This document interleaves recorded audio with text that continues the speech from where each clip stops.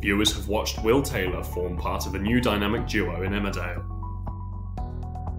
The character had an unfortunate start to married life with Kim Tate thanks to a devastating windstorm that claimed the life of former Flame, Harriet Finch.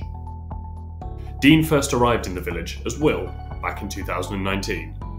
He is the ex con and former drug dealer who used to work for the dangerous D.I. Malone's gang. Away from the Dales, the actor is probably best known for starring as D.S. Ray Carling in the BBC drama series Life on Mars. His first credited TV role came in 2002 when he appeared in EastEnders before playing Barry Sheil in the Channel 4 drama Buried. But many will be surprised to know he had a different career before turning to acting. According to the Daily Star, for 20 years Dean worked on a cruise ship and in clubs as a singer and in a throwback photo on his Instagram in 2020, he shared a photo of one of his album covers from 1986. Away from work, Dean is engaged to fiancée, Helen Bowen Green. Dean also has two children from a previous relationship, daughters Shani and Alice.